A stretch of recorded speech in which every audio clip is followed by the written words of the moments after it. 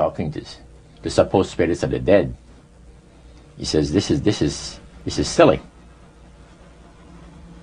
And this man had been at the seance with you. Yeah, oh yeah. And he's telling you that it's silly what you've Yeah. just done. Because see, my wife, he says, goes to these seances because she gets comfort and she gets uh, something good out of it, good feeling out of it, and she lives for what the spirits, uh, you know, are going to see that the future is going to be like. To me, he says, I can't bother with this stuff. He says, I want power. I go right to the source of power. And he says, How do you think that I became famous the way that I am? Well, I said, You must have had some good luck. Well, he says, There's no such thing as good luck. He says, There's either some power working for you somewhere, or you don't get ahead in this world. Not in my, my type of occupation. So um, it went from there. We went. We got talking about uh, spirit worship. Did it intrigue you? Or did it make you want to find out more about what exactly he was talking about? Yeah. So he said the, the supposed spirits of the dead that you're talking with are demon spirits. They're fallen angels. They're beautiful beings. Just set it out, just like Oh that. yeah. It didn't make you uneasy when he said they were Well, just you know, it demon shocked you a little bit. You know, something that you first hear uh, uh, mentioned to you. He said, uh, "You guys have got a great future ahead of you because we've been told." The high priest of our society, secret society, has been told that the master has very special plans for you too. Now, what did he mean by the master? uh, Satan. And uh, we were interested to hear more about it. And he told us, he says, look, we worship spirits. We worship Lucifer, the, Lucifer and all his angels. They're just as beautiful as they did before they were cast out of heaven. He says there was a misunderstanding in the whole thing. He says among the inhabitants of the galaxies. And he says our master was misunderstood. And God did not bear with him like he does with, with people that make mistakes today. So we're in a warfare, good against evil. And we happen to be the evil ones, but we're not that bad. He says, I look at this business between the forces of good and evil. He says, you believe in, in uh, one person believe in God, and everyone believes in Lucifer. It's like politics. So the great controversy is real. And you've Mm-hmm. Oh, yeah. heard someone talk about it that's on the other side. And to these people, they are sold to the fact that uh, Christ will not return to this planet with power and great glory. He's going to abdicate all claims to the planet because this, the high priest once said that uh, Christ will abdicate all claim to the planet because he knows that it is lawfully and rightfully Satan's. And at, and at that time, he says, uh, Lucifer, you, you, uh, you mentioned Lucifer a lot of times, but he mentions Satan also. He says, the master, usually they, they like to talk about the master, the master will resurrect his people from the graves.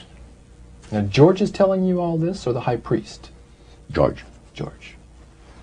Okay, when the evening Yeah. wound down and you're putting a cap on all that, Mm-hmm. you guys had consumed some alcohol, Yeah. and you did you feel like that there was kind of a one-shot deal? You didn't know if it ever happened again. What happened Well, that? he said, no, I said, listen, guys.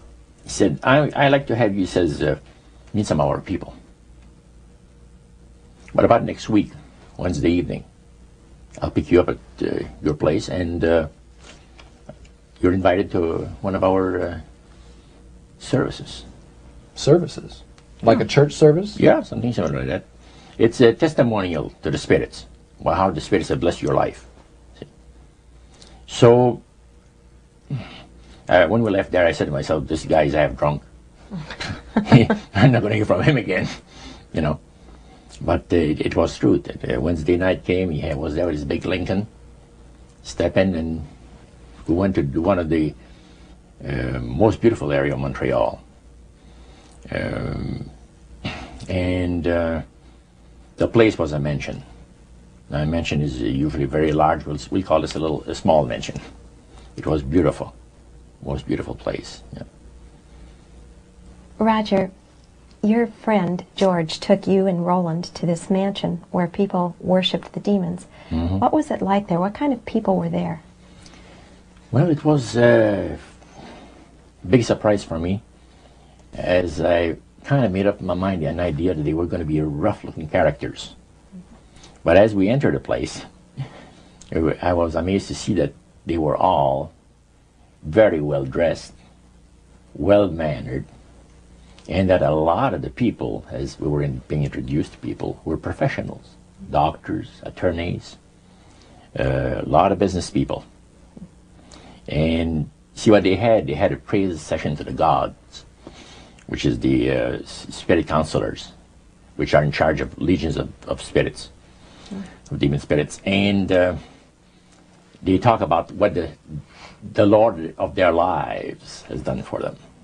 Because they call on particular spirits, uh, like uh, um, the god Nehushtan, which you read in Second King about the Israelites uh, worshipped the golden serpent that Moses had made. Well, behind behind the spirit worship, they, behind that they were worshiping the serpent. They were actually worshiping uh, this uh, spirit Nehushtan, and the same spirit Nehushtan is that priest was telling us that the medical doctor that was telling us how he was making operations that had never been made before because people had to be al- uh, awake, yet have no have no no feeling. He was able to, uh, you know, carry on the surgeries that had not been done before. But the spirits would give that capacity to be able to uh, operate without people feeling uh, any pain and things. And also without uh, no problem with the, with the blood because as he would cut his incision, because incisions, everything open and with no blood running. So he, he could do the work that has not been done before. So, Now, I recall reading in your book that at this um, praise worship service they had, they would sing hymns. Why would they sing hymns in a demon worship? yeah, um, this was kind of a big surprise to me when, I, when that took place. The priest said, hey, let's go down to the worship room of the gods and uh, have a uh, praise session, you know, a singing session. So we go down there, and what did they think? You think that they pass around? Church hymnals, you know, Christian church hymnals. And I couldn't believe this. I said, "What's his business?" So the priest says, "Well, now he says, for those of you that are new, let me tell you that this is the most feasible way." He says to please the spirits. It's to deride Christ and His people, you know, and His church and all that. So they sing. Uh, uh, out of Christian uh, hymnals. They didn't sing Christian words to the hymns, however. Well, they change. They change a lot of the, a lot of them. Mm-hmm. Yeah, And not So for it's the a form of it's a form of blasphemy. yeah. Mm. Such as you see today in the rock music world.